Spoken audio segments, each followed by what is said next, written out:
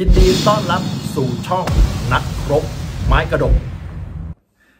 เป็นเรื่องแล้วนะครับ แกนนำคอปทเนี่ยเผยเรื่องใหญ่งานนี้อยู่ดีๆ ความจริงก็ปรากฏปมทักษิณชั้น 14 ก็ต้องบอกก่อนนะครับว่าเรื่องที่ปคอปทนะครับตรวจสอบเรื่องคุณทักษิณเนี่ยอยู่ชั้น 14 จริงไหมป่วยจริงไหมอะไรจริงไหมเนี่ยแล้วก็มีการไปยื่นฟ้องต่อปปชให้ทำการตรวจสอบนะครับหน่วยงานต่างๆ ไม่ว่าจะเป็นกรมราชทัณฑ์โรงพยาบาลตำรวจนะครับหรือว่าอะไรต่างๆเนี่ยซึ่งแน่นอนครับหลักฐานต่างๆเนี่ยครับที่คอปทพยายามจะหาเนี่ยนะครับล่าสุดก็มีข้อมูลออกมา เนื่องจากว่านะครับทางพลตำรวจเอกเสรีพิสุทธิ์เตมียเวทได้มีการให้สัมภาษณ์ในกรณีที่นะครับผู้สื่อข่าวได้มีการถามเรื่องของการที่นะครับพลตำรวจเอกเสรีพิสุทธิ์เตมีเวทเนี่ยไปถอนฟ้องนะครับนายกที่ชื่อเศรษฐาทวีสินว่าเหตุผลเพราะอะไรทำไมไปถอนฟ้องตามที่เราทราบก็คือว่าพลตำรวจเอกเสรีพิสุทธิ์เนี่ยไปยื่นฟ้องไปยื่นฟ้องนะครับนายกรัฐมนตรีที่ชื่อสถาเรื่องของปมแต่งตั้งนะครับผบตรนะครับพลตำรวจเอกต่อศักดิ์สุขวิมลแล้วจู่ๆนะครับ ข่าวที่ออกมาว่าพลตำรวจเอกเสรีพิสุทธิ์ไปถอนฟ้องไปถอนฟ้องเรื่องเรื่องอะไร ซึ่งแน่นอนครับการให้สัมภาษณ์ของพลตำรวจเอกเสรีพิสุทธิ์บอกว่า การที่ไปถอนฟ้อง เพราะว่านะครับทักษิณและยิ่งรักเนี่ยเป็นคนขอร้องตัวเองก็เลยนะครับไปถอนฟ้องแต่ประเด็นอยู่ที่ว่าวันนี้นะครับ ก็มีการถามว่าอ้าวแล้ว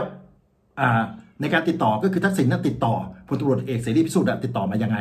คำตอบก็คือว่าก็ไปพบที่ชั้น 14 ไปพบที่ชั้น 14 ตอนที่ทักษิณชินวัตรเนี่ยนะครับรักษาตัวอยู่ที่ชั้น 14พลตำรวจเอกเสรีพิสุทธิ์เข้าไปพบ ซึ่งแน่นอนครับรายชื่อที่เข้าไปพบไม่มีแล้วพลตำรวจเอกเสรีพิสุทธิ์เข้าไปพบได้ไง และการเข้าไปพบแสดงว่าทักษิณไม่ได้อาการหนักหรือเปล่า มีสติสัมปชัญญะสมบูรณ์หรือเปล่าโอ้โหเป็นประเด็นเลยครับ เอาแล้วนะครับแกนนำคอปทอเผยเรื่องใหญ่งานนี้อยู่ดีๆ ความจริงก็ปรากฏปมทักษิณชั้น 14 4 กรกฎาคม 2567นายพิชิตชัยมงคลแกนนำเครือข่าย นักศึกษา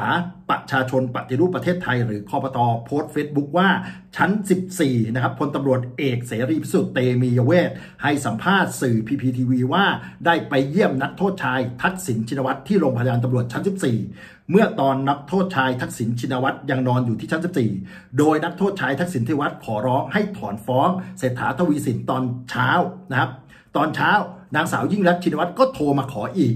เรื่องใหญ่สิครับ หนึ่งพลตำรวจเอกเสรีพิสุทธิ์ไปพบนักโทษชายทักษิณที่ชั้น 14 และนักโทษชายทักษิณขอร้องให้ถอนฟ้องเศรษฐาแสดงว่านักโทษชายทักษิณมีสติสมบูรณ์ ไม่ได้ป่วยหนักติดเตียง คนที่ขอร้องคนอื่นได้ แสดงว่าไม่ได้วิกฤตแบบที่กล่าวอ้าง และพลตำรวจเอกเสรีพิสุทธิ์จะกลายเป็นพยานสำคัญต่อคดีที่อยู่ในชั้นปปชก็หวังว่า ด้วยเกียรติของอดีตผบตรท่านจะไม่โกหก สองพลตำรวจเอกเสรีพิสุทธิ์ไม่ได้อยู่ในรายชื่อ 10 คนที่สามารถเข้าเยี่ยมด